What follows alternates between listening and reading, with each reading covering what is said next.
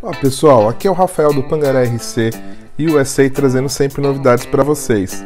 Bom, é, o pessoal tinha pedido aí para a gente fazer um vídeo aí sobre transformações né, nos carros e eu queria mostrar esse carro que foi um projeto lá do Brasil que eu tenho muito carinho por ele. Infelizmente aqui eu não consigo andar muito com ele porque as pistas não são para esse tipo de carro né? O pessoal gosta muito aqui de, de carro 110 e eu guardo ele, eu brinco com ele aqui na rua, dá para dar umas voltinhas de vez em quando, né?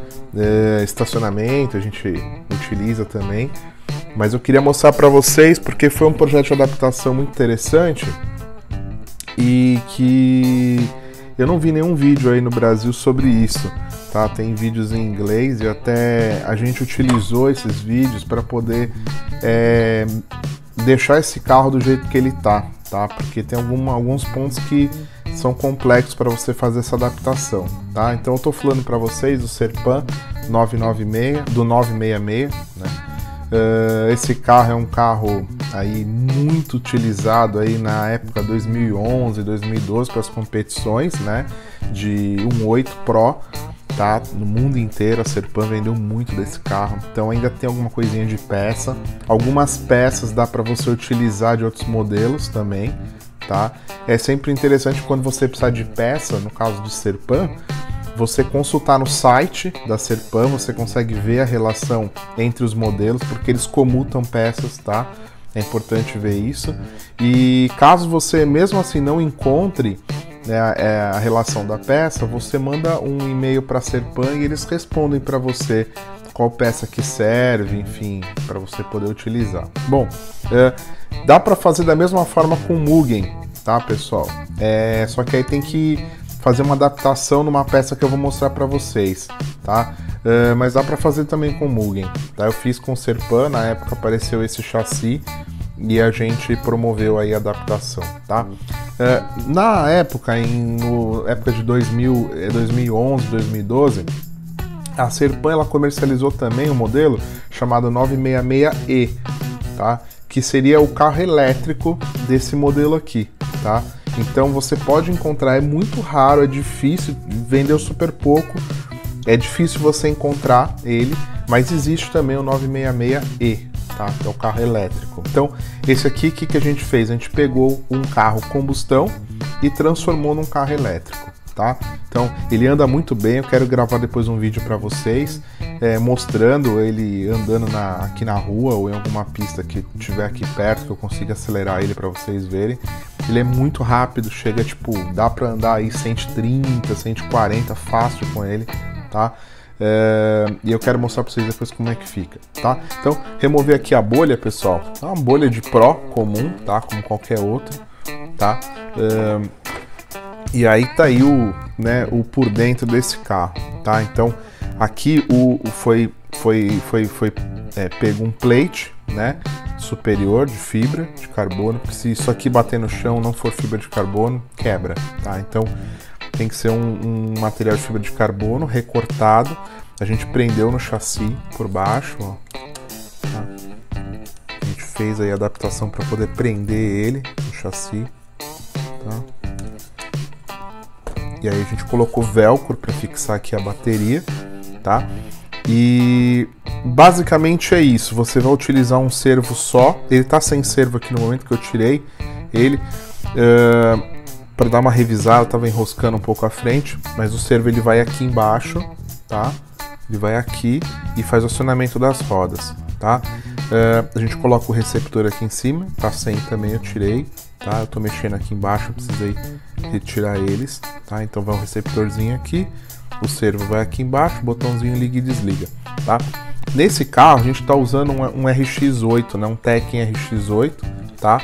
É, Gen 3 e o motorzinho Gen 2, tá? Então motorzinho de 2650 kV, rodando aí em 4S, né? Esse carro ele tem capacidade de rodar até em 6S, ele foi construído com essa intenção.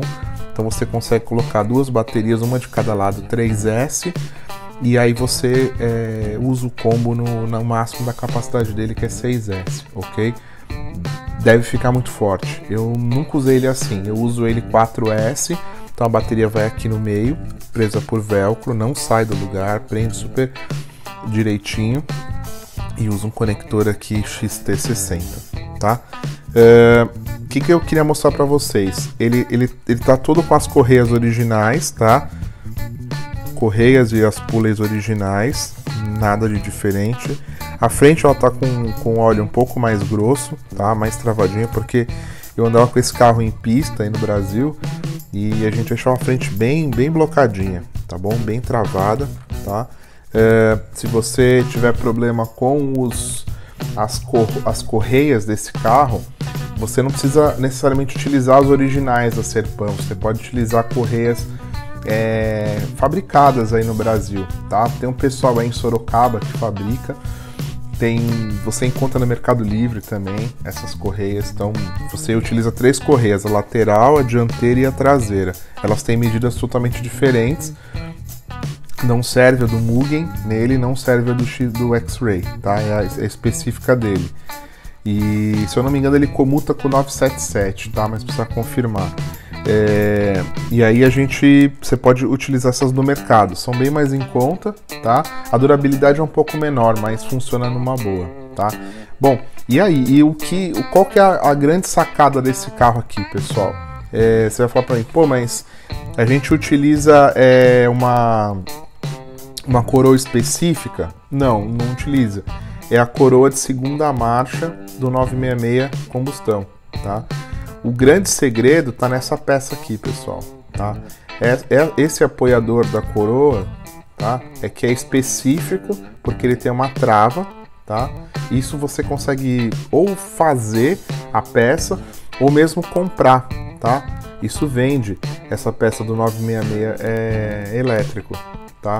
Você consegue comprar essa pecinha ou fazer, tá? Você vai remover aqui esse esse Deixa eu até tentar tirar aqui, sai fácil já já mostro para vocês como é que fica.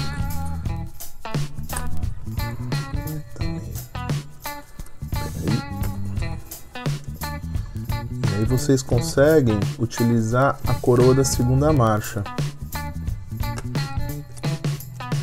Tá? Ah, o pessoal costuma me perguntar também quando eu andava lá na pista, né? A pessoa, pô, mas meu, cara, esse carro é muito forte, cara. Tipo, é, precisa ser um pinhão muito grande para ele. Não, não precisa. Esse carro, dependendo do tamanho da, da reta, né, da pista, você vai utilizar pinhão entre 20, no máximo estourando 22. Tá? Se você quiser muito high speed mesmo, pegar a final de reta, vai utilizar 22. Tá bem travado aqui, pessoal queria tirar para vocês ver, verem. Ah, tirei. Bom, então é preso aqui com um clipe, né? Tá? Super, super fácil se der qualquer problema de você trocar, ó. Tá aqui, ó. Tá? Então aqui, aqui vai a Syntax, ok? Aqui vai a Syntax no original. Desculpa, desculpa, falei errado. A Syntax vai no, vai no motor. É, você tem, ó, tá vendo um pequeno afastador, o pino, tá? O pino.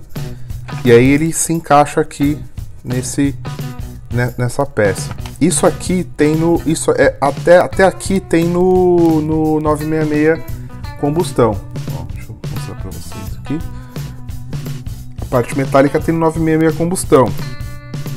O que não tem é esse copo, tá?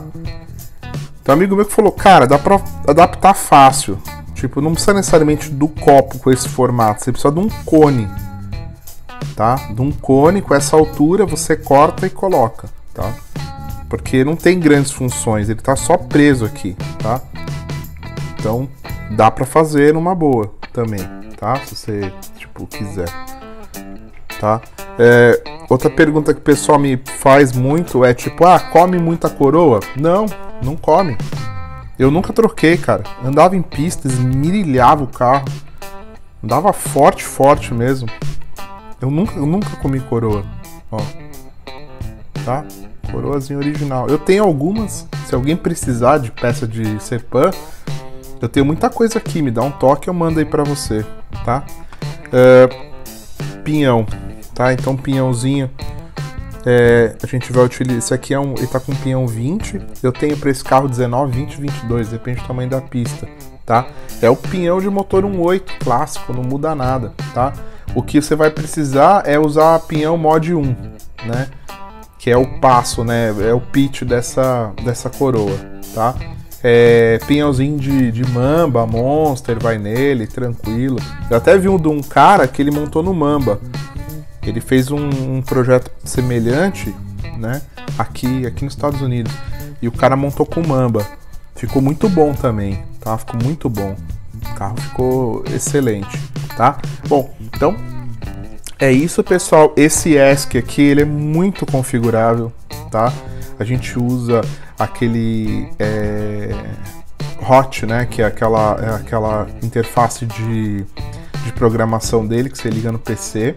Você configura ele muito, muito, muito. Dá para deixar esse, ESC muito nervoso, tá? E dá para brincar gostoso. Não é um projeto caro de fazer. Você basicamente precisa usinar ou comprar essa peça aqui do meio, tá? E se você tiver isso, acabou, tá? Você faz super tranquilo. Eu vi alguns projetos aqui nos Estados Unidos que o cara colocou duas marchas nesse carro cara deve, deve andar muito legal também, tá?